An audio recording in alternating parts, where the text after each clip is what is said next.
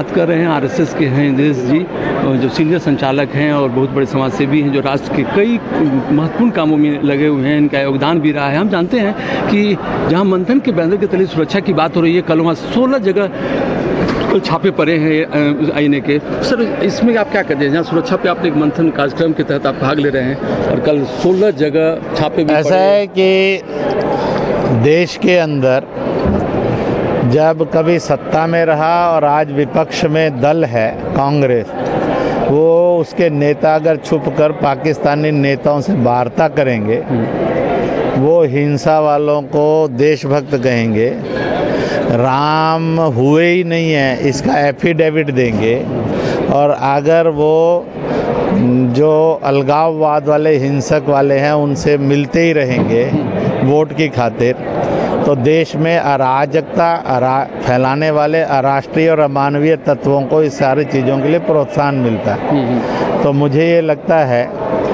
कि ये मंथन राष्ट्रीय सुरक्षा एक दृष्टि इसलिए महत्वपूर्ण था। सीमाओं पर निरंतर पाकिस्तान चीन की शरारतें बढ़ना और भारत सरकार सेना ने उसका मुँह तोड़ जवाब देने के प्रक्रिया चल रही है। तो इसके लिए जागरूकता होनी चाहिए। घुसपैठ ने देश के अंदर असंतुलन निर्माण कर दिया है खतरे पैदा कर दिए हैं।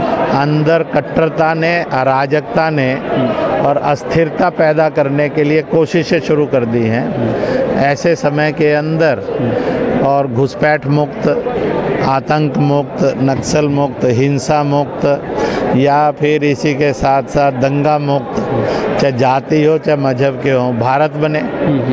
स्थिरता आए अराजकता जाए और सीमाओं से वो सुरक्षित और मज़बूत भारत बने। साइबर क्राइम का मुकाबला करने वाला भारत बने।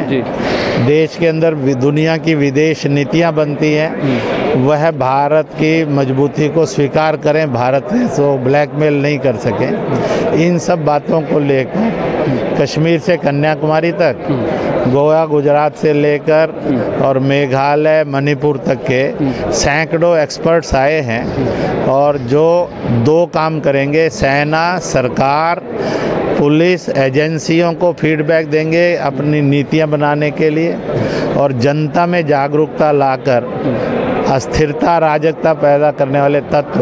कोई भी गेम खेलने में सफल ना हो और सारा समाज एकजुट होकर एक सुरक्षित भारत एक समर्थ भारत के लिए सरकार के साथ एजेंसियों के साथ खड़ा है।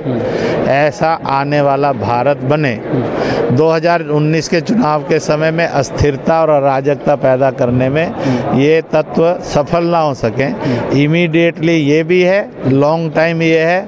ऐसा भारत जिसको दुनिया ने विश्व गुरु और सोने की चिड़िया कहा जिसकी ओर नज़र उठाकर देखना भी लोगों को हिम्मत नहीं होती थी। वैसा भारत आज बने इसके लिए ये कार्यक्रम हो रहा